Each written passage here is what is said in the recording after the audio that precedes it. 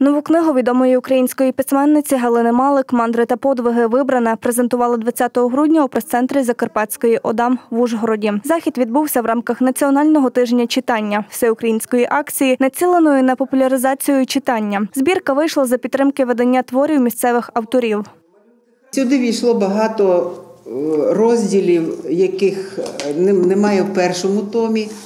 Е, Тут є такі шляхові замітки, тут є переклади, тут є драматургія. Це другий том збірки. Перший був виданий 10 років тому. Також до другого тому увійшла лірика, якої не було в першому. Окрім цього, письменниця представила книгу Нові казки. До збірки увійшли нові оповідання авторів, чиї роботи публікувалися видавництвом Старого Лева.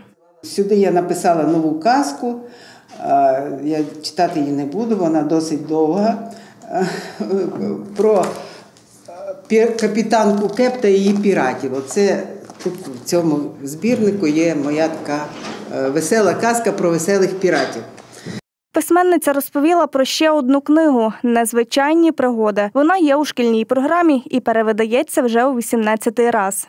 З того, фактично, е, з того часу, як вона була написана, ця повість, вона вже вона кожний рік іншим якимсь видавництвом перевидавалася.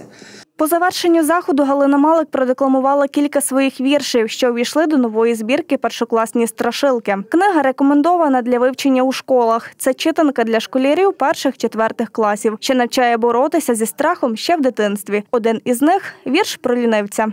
Маленький лінивець весь час лінувався, він зуби не чистив, щодня не вмивався, купатися теж він не дуже любив, уроки він теж неохоче робив. Яка б не чекала на нього робота, лінивець ліниво бурчав неохота. Йому не хотілося гратись, сміятись, ходити в походи і спортом займатись. Нарешті він шерстю густою обріз і вниз головою на гілці повис. Наразі Галина Малик планує випустити аудіокнигу до повісті Злочинці з паралельного світу.